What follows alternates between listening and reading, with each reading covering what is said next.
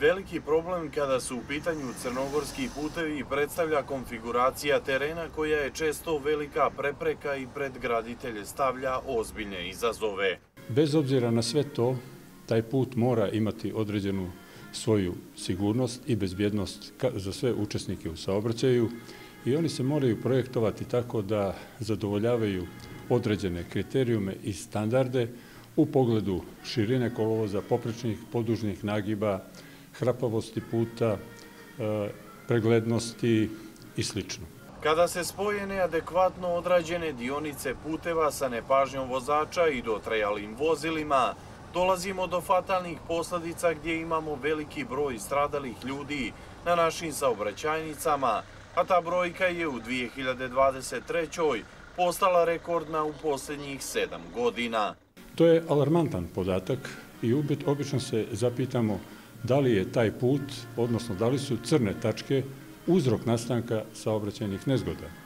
Mi smo izgradnjom autoputa od e, 40 km e, izbjegli taj čuveni kanjon Morače, gdje se dešavao veliki broj saobraćajnih nezgoda, ali nažalost i smanjenjem broja saobraćajnih nezgoda u tom kanjonu koji je imao više crnih tačaka, e, mi smo povećali broj saobraćenih nezgoda na drugim putevima. Kako kaže Čarapić, ni izgradnja boljih i savremenih dionica nije donijela boljitak jer gro problema leži u nepažnji vozača i neprilagođenoj brzini. Ja vidim osnovni uzrok u samom e, vozaču, odnosno čovjeku.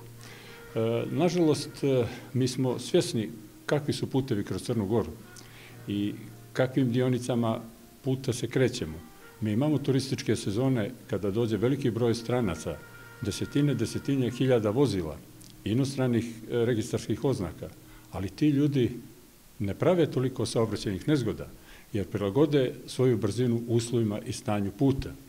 Ja znam da određenim rekonstrukcijama na tim putnim pravcima svakako će se e, smanjiti broj saobraćenih nezgoda na nekim dionicama, posebno u dijelovima kada je kolovost klizav, kada su e, smanjene, smanjeni uslovi preglednosti, odnosno e, vidljivosti i sl.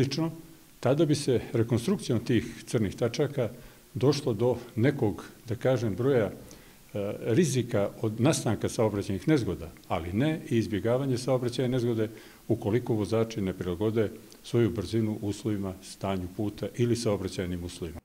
Nedavno je sa najviših državnih funkcija najavljeno da će Crna Gora do 2030. godine izgraditi oba autoputa, da će uz to imati i četiri brze ceste. To bi daleko e, uticalo, mnogo uticalo na smanjenje broja saobraćenih nezgoda, jer to su bezbjedni putevi koji omogućavaju veće brzine, ali i veću sigurnost samih vozača i svih učesnika u saobraćaju. Naravno, tim novim projektima bi se smanjio broj, mislim po mojom mišljenju makar, broj saobraćenih nezgoda koje se dešavaju na ovim takozvanim crnim tačkama u našoj državi. Za pohvalu je takav projekat i on će doprinijeti ne samo ovom najbitnijem smanjenju broja e, saobraćenih nezgoda i žrtava saobraćenih nezgoda, nego povećati i brzinu savladavanja određenih dionica i lagodniju i bolju vožnju.